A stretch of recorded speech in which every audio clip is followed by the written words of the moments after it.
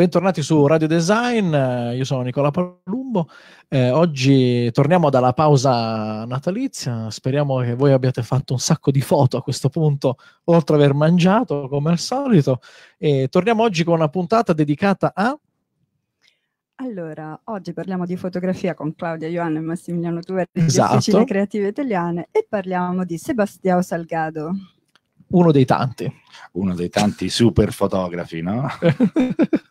allora, uno dei nomi, diciamo, della fotografia mondiale, eh, che è più amato anche dal pubblico e per vari motivi, perché sia come fotografo, quindi sia anche per il suo impegno in favore dell'ambiente. Sì, allora, Salgado nasce nel 1944 e contrariamente a quello che tutti pensano, eh, arriva alla fotografia molto tardi, in quanto lui fa degli studi di economista, quindi si laurea in economia e comincia a lavorare eh, per ehm, il comitato del caffè sostanzialmente. E quindi che cosa fa lui? Prende e fa spesso dei viaggi anche in Africa, ma si occupa prevalentemente di economia.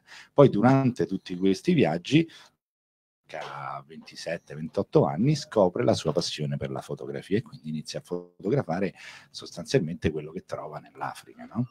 Sì, naturalmente il, il fatto di avere un background formativo, insomma così di istruzione così consente di avere una capacità anche di valutazione eh, particolarmente approfondita di tutte le realtà con cui si va a confrontare. Quindi è molto interessante in realtà il suo approccio che è eh, considerato umanista per eccellenza, lui è uno degli esempi planetari di fotoreporter umanista, quindi che mh, ha piena consapevolezza di tutta la realtà sia economica che, che racconta, ma eh, con una capacità di medesimazione per quello che riguarda l'aspetto umano che veramente lo distingue poi da tutti gli altri sguardi fotografici, puramente fotografici sulle stesse realtà. Capacità di interpretazione che gli creerà più avanti nella sua carriera non pochi problemi a livello personale proprio, eh? perché diciamo che ehm, assorbe un po' tutto quello che vede quindi tutto quello che gli rimane gli crea anche dei problemi fisici che in un certo arco della sua carriera eh, lo faranno anche interrompere di fotografare purtroppo. Comunque quello che riesce a raccontare in Africa sin dall'inizio è una cosa molto bella perché praticamente mh, mette in risalto uh, tutto quello che l'uomo uh, faceva in quel momento, quindi realizza diversi reportage a partire diciamo dagli anni 70 basati sul lavoro dell'uomo e su quello che l'uomo produceva. Famosi sono i suoi reportage sui pozzi petroliferi, appunto in Africa, un certo tipo di lavoro che in prima battuta il, lo sguardo era quello che si metteva in gioco personalmente, cioè lui non fotografava distante da quello che accadeva, ma stava all'interno. Quindi, per esempio, per i pozzi petroliferi poteva in gioco direttamente, si sporcava di petrolio, stava all'interno, stava insieme ai ragazzi che lavorava e quindi questo suo sguardo un po' differente, no? Perché nello stesso momento era distaccato perché manteneva una certa distanza nelle fotografie, si nota, e in questo momento raccoglieva quell'aspetto umano no, che, a cui accennava prima Claudia, che lo contraddistingueva proprio come fotografo di reportage una delle caratteristiche sue che proprio ogni lavoro, quindi ogni paese che ha visitato e quindi raccontato, in realtà per lui ha rappresentato un'occasione di cammino, per esempio, perché lui attraversava quindi per mesi, a volte viaggi fotografici duravano mesi o anni, eh, quindi mh, si metteva proprio lo zaino in spalla e incontrando le persone e andando quindi a mescolarsi quasi all'interno della, appunto, della situazione che mh, mhmm, lo aveva mosso insomma ad andare a raccontare. Una, appunto una caratteristica appunto sua è proprio questa di calarsi all'interno della, anche del disagio, se vogliamo, ma di raccontarlo sempre con un punto di vista sull'uomo che gli restituisce una sua dignità, magari la disperazione o la difficoltà del vivere, ma sempre raccontando l'uomo e non la povertà, il disagio in se stesso, quindi. e questa caratteristica gli nasce anche dai suoi natali, in quanto lui eh, studia in Francia ma è, è brasiliano, quindi nasce in Brasile, i suoi genitori avevano una fazenda e che poi diventerà sua e all'ultimo spiegheremo, spiegheremo anche le particolarità no, che ci saranno in questa fazenda, però questo tipo suo di sguardo è derivato appunto dall'ambiente, dal tipo di luce che lui aveva, infatti lui amava dire che lui non stava tanto a studiare il tipo di luce che c'era o l'inquadratura che doveva fare, ma gli nasceva tutto da dentro e quindi è una fotografia, come dire, introspettiva, cioè che in un certo qual modo lavora te stesso, però facendo vedere gli altri. Questo si nota sempre quando eh, eh è l'uomo appunto il protagonista dell'ambiente, ma l'inizio del fotografo infatti è caratterizzata prevalentemente dalla presenza umana e quindi anche dal ritratto fotografico, quindi i suoi soggetti sono rappresentati in modo veramente i gesti o comunque sono colti in situazioni che sono veramente eh, molto emotive anche, si riesce veramente a cogliere questa rappresentazione dell'uomo in modo quasi biblico, epico, eh, sempre in situazioni che fanno pensare poi anche in parallelo al non so, appunto, la Bibbia, se non a Dante. E qui potremmo, come dire, già lanciare una piccola intersezione, nel senso con altre arti, con altri linguaggi. Uno dei lavori più importanti appunto di Salgado è stato realizzato nella Serra Pelada in Brasile, che è una miniera d'oro. E eh, sostanzialmente il suo racconto è di questa immensa miniera a cielo, aperto, in cui mh, un numero impressionante inizialmente si reca ogni giorno, si cala giù attraverso delle scale, calando nel fango, scavando e tirando su sacchi di terra e di fango, sperando di aver trovato una vena aurifera e quindi di aver trovato almeno una pagliuzza d'oro tutta questa scena apocalittica quasi eh, non può che riportare alla mente l'idea del girone infernale che appunto nel corso di uno dei nostri incontri appunto intersezioni abbiamo fatto vedere in parallelo con appunto Botticelli mh, Botticelli sì. aveva appunto rappresentato una serie di tavole, quasi un centinaio, una serie di tavole della Divina Commedia, una delle più forti forse, proprio la voragine infernale in cui si vedono questi gironi appunto con i dannati che in qualche modo però sono rappresentati in un modo abbastanza stranamente affine a quelle, di, insomma, alle rappresentazioni di Salgado, in cui veramente c'è l'uomo ripreso nel, nel pieno appunto della sua vita che dall'esterno forse può sembrare una tragedia, mh, mm, ma che lui tiene molto ad evidenziare, non come una forma di schiavitù, ma come una forma di vita quasi normale per loro, cioè questa chimera di poter trovare, chissà, forse una volta almeno mm, dell'oro che finalmente farà svoltare questa Riscatto. loro vita disperata. Sì. Infatti noi invitiamo tutti a dare un'occhiata a questo lavoro che si chiama appunto, come ha detto Claudia, Serra Pelata. E e um, sono importanti anche le parole che ha utilizzato lui per descriverlo e che ci danno un attimo il senso della situazione che lui ha trovato in quel momento. Cioè lui è arrivato in questo buco sostanzialmente eh, perché era pianeggiante, quindi è un buco all'interno uh, de, de, della terra, terra proprio e eh, non c'erano macchinari, non c'era nulla, l'unico rumore che si sentiva quando lui si è affacciato ai bordi di questo buco era il brusio, il parlare di 50.000 persone bah. che lavoravano all'interno. Quindi tu immagina una cosa da pelle d'oca, perché sostanzialmente tu senti il brusio di queste persone e questa lotta ehm, verso eh, la ricerca di qualcosa che ti fa cambiare il modo di vivere, no? Un riscatto. Esattamente. Non c'è, come ha detto Claudia, nessun tipo di schiavitù all'interno di questo e tu sei portato a pensarlo, no? Perché vedi persone che certo. lavorano, cioè l'unica Le maniera condizioni... per scendere, esatto, per scendere in questa miniera era quella di scivolare lungo una discesa, ma di corsa, perché se ti fermavi rotolavi fino a giù e quindi dovevano correre e risalivano tramite scale con dei sacchi eh, sulla schiena. Legno, veramente con questi sacchi appesi. È una visione apocalittica, apocalittica Infatti, Adesso mi dispiace, non possiamo far vedere direttamente le foto, però andatele a vedere, Certo. insomma, perché è una Esatto. cosa Eh, basta veramente googolare. bellissima. Esatto. Sì, merita veramente.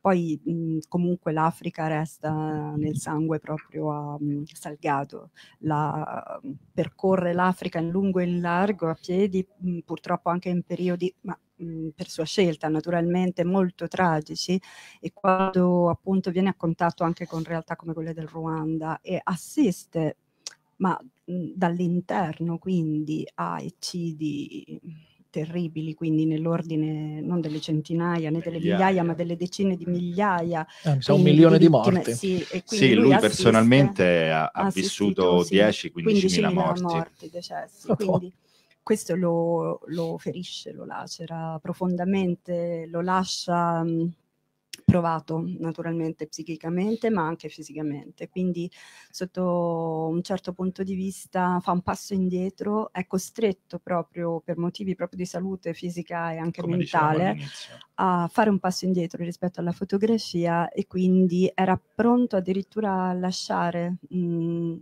insieme alla moglie che è una figura Leila eh, molto importante nella sua vita perché veramente credo che sia uno degli esempi magari mh, non so ce ne sono molti però di coppie in cui mh, c'è un, un ruolo molto forte insomma in chi sta accanto ad un nome molto noto.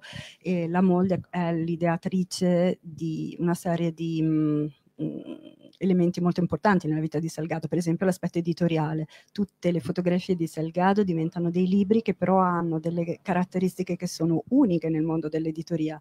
Per esempio Genesis, che è uno dei libri più famosi, è un libro di formato immenso, immenso, ideato appunto dalla moglie Leila, con eh, le fotografie appunto spalmate sulle doppie pagine, per cui alla fine risultano delle fotografie meravigliose con una qualità di stampa eccezionale. Lui era un grandissimo, cioè è un grandissimo fotografo, mh, quasi maniacale mh, per quello che riguarda appunto la qualità e la resa, insomma, delle sue fotografie e i suoi libri sono veramente un- qualcosa di prezioso proprio anche da toccare, da guardare.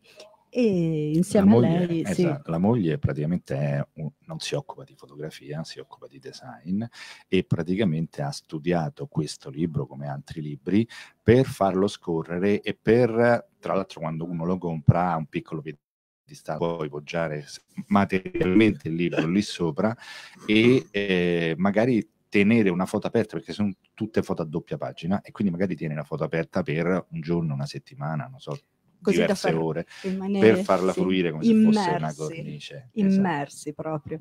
E mh, questo è un momento molto importante nella sua vita in cui si ritira dalla fotografia e torna in Brasile. A questo punto riprende la azienda di famiglia, eh, quindi dove però ehm, l'abbandono e comunque le condizioni anche climatiche, i cambiamenti climatici avevano diciamo, ferito questa terra, praticamente si era persa gran parte del, eh, della preziosità dell'ambiente stesso, quindi era un luogo abbandonato in cui gli alberi erano in gran parte morti, per cui la moglie ha l'idea di riportarlo proprio a vivere eh, Salgado attraverso l'ambiente e quindi ri- ricominciano a piantare quella che era la foresta pluviale e che era andata perduta lentamente, ricostituiscono quindi l'ambiente della foresta pluviale un'area immensa e arrivano a piantare fino a 2 milioni di alberi che ricreano quindi e ricreano in questo modo quindi una- un vero e proprio ecosistema pieno di nuovo di vita e di biodiversità. Questo fa nascere in lui nuovamente la passione per la fotografia, no? Però cambia, diciamo, l'approccio alla fotografia e lo cambia sia sotto il profilo tecnico che sotto il profilo proprio del soggetto che va a ritrarre. Mentre prima, come ha detto Claudia, i suoi soggetti erano le persone, l'essere umano all'interno sempre di un contesto ambientale, però era comunque un essere umano. Eh, adesso e a partire da quegli anni lui si occupa prevalentemente di natura. E quindi da lì parte e crea questo libro che è Genesi sostanzialmente eh, che racconta tutto il pianeta Terra perché lui praticamente arriva a dire che circa il 50% del pianeta Terra, così come lo conosciamo, è ancora così come è stato nel momento della Genesi. Quindi lui ripercorre tutte quelle zone e va a fotografare. Fotografa anche in maniera differente perché lui sì. nasce come fotografo a Analogico. pellicola, analogico, no? sostanzialmente perché in quegli anni ovviamente quello c'era. E il cambiamento eh, ce l'ha prima un cambiamento base sulla pellicola perché passa da un 35 mm normale, lui è appassionato di macchine like e quindi eh, facilmente trasportabili, a un medio formato, quindi una macchina eh, eh, che utilizza una, una, pellicola da 120 mm e che è più performante sotto, sotto il profilo proprio della, della incisività, mm. della resa, appunto delle caratteristiche insomma che la fotografia poi tira fuori. Quando deve intraprendere il viaggio per Genesi, e parliamo di un viaggio tipico di Salgado, quindi sei anni di lavoro. Sì, anni Esatto, tra l'altro la metà di questi fatti praticamente a piedi su, su terreni eh, anche senza strade, quindi esatto. veramente sì, e mh, si acc- fa un piccolo calcolo da economista sì. e si accorge che per tutto questo viaggio avrebbe dovuto portare con sé circa 30 kg di rullini fotografici. Quindi un, un peso e un ingombro assolutamente fuori proprio dalla portata, insomma, di qualunque. 30 kg sono tantissimi, poi considera pure eh, la problematica, insomma, sì. perché negli aeroporti in quegli anni, poi siamo nel 2000, quindi eh, insomma certo. anni un po' duri, eh, c'era il discorso dei controlli, quindi raggi X, quindi tutti questi rollini comunque avere Buttarlo. un deterioramento esatto, esatto. riguardo ah, proprio alla qualità finale. No? Anche perché lui era passato dalla Leica alla Pentax esatto. 645, insomma, per ottenere una migliore qualità che però gli veniva degradata eh, durante tutti questi passaggi attraverso i controlli di sicurezza per anni, perché queste pellicole venivano esposte per anni a queste certo. radiazioni. Per di qui decide, decide di svolta, passare al digitale. Quindi la svolta verso il digitale e Sempre. quindi opta per uno zaino contenente un chilo e mezzo di schede. È pochissimo, no? e mezzo di schede. Esattamente. Che però rispetto a uno zaino con 30 kg di rulente è stato un vantaggio notevolissimo. Beh, Ma perché allora non è che c'erano tutte queste schede così, cioè ora, ora... un chilo e mezzo passerebbe a 300 grammi di eh, scheda. Diciamo di Sicuramente. Sì. Però considera pure che ecco, anche tu hai fatto una, sì. un, una sì. considerazione interessante. No? Perché è vero che ci sono schede di memoria con una capienza grandissima, però tu considera che cominci a scattare su una scheda di memoria da 128, certo. d'accordo? E questa scheda, siccome è un blocchetto di silicio, ti si rompe, ti casca, ti si spezza. Fai tu, backup. Quante foto hai perso, però se tu Come hai fatto una, un'unica scheda da 128? Tantissime. Beh. E quindi sostanzialmente il segreto è quello di magari di avere schede un po' più spesso, in quanto così ti rimane il insomma, rischio di macchina. perdita limitato. Questo sì, un consiglio per i fotografi che tendono appunto a risparmiare, ma ormai parliamo di grammi, quindi ah, certo. cioè, è un risparmio molto limitato, però il rischio di rottura delle schede c'è sempre. Questo vabbè, è una piccola divagazione tecnica, ma può essere interessante per i fotografi. Vabbè, adesso ci sono anche quei mega hard disk che fanno i backup certo. automatici. Certo. Bravissimo, infatti adesso ci sono tanti è sistemi. molto più semplice quasi nessun fotografo al giorno d'oggi si porta appresso milioni di schede di memoria. Ci stanno dei programmi e quindi tu come, come, entri in una zona diciamo che ha la possibilità di un collegamento internet, scarichi tutto, fai in backup online certo. e quindi c'hai tutto terabyte di fotografie che non c'hanno mai Sì, nel 2000 mi sa che era abbastanza un delirio. 2000, diverso, nel 2000 diverso. era diverso e comunque ha intrapreso questa svolta proprio per facilitare. Poi lui era particolarmente appassionato, diciamo, alla fotografia a pellicola, curava tantissimo la stampa e anche le sue fotografie che hanno quei neri così densi, ma anche quei bianchi particolarmente evidenti ehm, sono motivati dal fatto che lui proprio interveniva a pennello su alcune zone sì, durante la stampa con degli sbiancanti particolari che fanno sì che alcune fotografie sue siano immediatamente riconoscibili come di Salgado perché per esempio non so la, la famosa fotografia delle montagne con in mezzo il fiume che appare bianco, fatto, sembra un fiume di luce invece che d'acqua, derivano proprio dalla sua cura proprio personale, insomma, nell'ottenere quel tipo di risultato che è quasi Photoshop pittorico. eh, primordiale, no? Passo a pennello. Che pazienza, mamma mia. Eh, so, Beh, l'hanno però la- sempre fatto. la però. caratteristica di un grande fotografo è proprio questa, non è solo quella, diciamo, della pubblicazione fino a se stessa, ma è è anche il discorso del, ehm, creatività, della anche sì, artistica. pure, creatività, ma me. anche del pensiero alla mostra fotografica, no? che è qualcosa di diverso. Siccome lui ama stampare in grandissimo formato, quindi le Certo. sue stampe sono molto grandi, la cura deve essere veramente eccelsa no? su, tutte, su tutte queste cose. E come diceva Claudia, lui interveniva sulle zone diciamo più ombreggiate per andare a schiarire a mano tutto quello che erano ombreggiature. Ah, quindi sono anche dei quadri, diciamo, le sue Beh. fotografie, questo effetto mh, lievemente pittorico, le persone lo notano e lo amano moltissimo, proprio si contraddistingue per questo.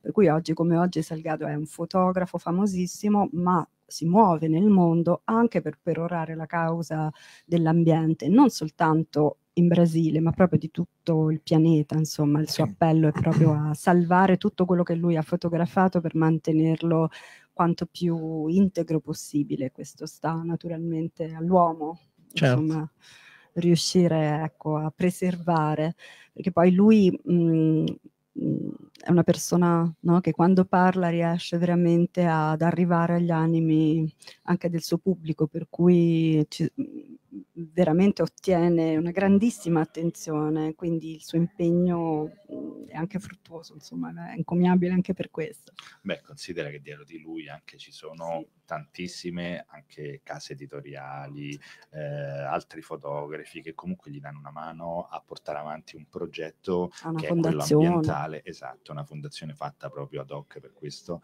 eh, che è veramente notevole, ma dispendioso sia sotto il profilo, diciamo, fisico che anche economico. eh. La Taschen è una di quelle che appoggia notevolmente tutte le sue... eh, e che ha idee. anche impegnato dei fondi proprio per l'ambiente, mh, n- insomma, misura anche molto molto notevole, però ecco, è, mh, eh, diciamo che oggi come oggi ha a cuore forse il pianeta tramite il mezzo della fotografia, che comunque no? è, è quasi... Sì, è un utilizzo eh, diverso, sì. cioè lui con la fotografia mette in evidenza appunto tutto quello che di male stiamo facendo no? al giorno d'oggi ma anche, quel- rispetto ah, ma anche quello che di bello, Certo. naturalmente, di, quindi di degno, insomma, di essere salvato per Certo. forza, insomma, c'è nel mondo che forse ehm, va ricordato eh, e, in- e lui lo fa appunto in un modo a cui nessuno resiste. Chiunque guardi le fotografie di Salgado viene preso, viene colto da questo furore ambientalista perché veramente arriva direttamente all'animo umano, insomma. E, ma e poi c'era anche un, c'è un libro no, dedicato, un film dedicato Sì. a- Ah, sì. Sì. Film cosa. è famosissimo Sì, ed è Il sale della terra, tra l'altro il re- esatto, il regista è Wim Wenders. Tutti quanti consigliamo di dare un'occhiata perché non solo Mm. mh, l'approccio alla fotografia, no, per chi è magari appassionato di fotografia, all'interno vedrà delle fotografie fantastiche, però ehm, è bello perché, come dire, un certo tipo di cultura ambientale, ambientalistica, nasce da- anche da, questi, da questo tipo di video, da questo tipo di film. sì, sì. che racconta proprio questo passaggio, questo spostamento, diciamo, dell'interesse, del focus appunto di Sebastiano Salgado dall'uomo al pianeta, quindi alla natura. Ed è mm, bellissimo. Anche questo ha avuto un successo Io devo dire che straordinario. ho conosciuto lui tramite il film perché per molti è così. sì, Un personaggio importantissimo della fotografia. eh, infatti Eh, ne abbiamo detto un sacco di robe sacco di roba. molto interessante so- come al solito resto ad ascoltare perché è sempre molto interessante non intervengo per questo perché i contenuti sono sempre validi allora direi che ehm, adesso continueremo settimanalmente a produrre questi contenuti arriveranno nuovi contenuti magari fra 15 giorni. Intanto finalmente il podcast eh, lo ripeto sempre potete abbonarvi al podcast eh, sia su Spreaker che su iTunes che, iTunes che su Spotify quindi mentre vi allenate con la musica truzza potete anche ascoltare cose interessanti. Tra l'altro, chi va in palestra. tra l'altro, Nicola, come abbiamo già stabilito, partiremo a brevissimo con delle piccole pillole Sì. di fotografia. È importante quello che hai detto te perché magari uno mentre si allena, mentre corre, Esatto. qualcosa di fotografia no? interessante e Ah. quindi anche sotto il profilo tecnico per chi è appassionato e magari non c'è il tempo di venirci a trovare in sede, Esatto. riuscirà a fare qualcosa. In realtà parlavo a me stesso perché sono io che purtroppo devi ascoltare un po' di musica ad alti beat per, Ovviamente. Se no poi però ci sta sempre di me io lo faccio alterno i podcast l'ascolto a- dipende dall'allenamento. Oppure il podcast lo sapete tutti potete ascoltarlo mentre siete in macchina ovunque. Adesso con Bluetooth eh, è facilissimo Esatto. usufruire di questo contenuto. Ovviamente questi video poi li trovate anche su Facebook, su Radio Design, l'Istituto Italiano di Design da cui parliamo ovviamente, e anche su YouTube, quindi un pochino ovunque. E anche sulla pagina di Officine Creative. L'officina creativa che rilancia il contenuto ovviamente, quindi grazie ancora. Io come un one man show chiudo qui la diretta Grazie a tutti. Un saluto a tutti, grazie. e alla prossima settimana.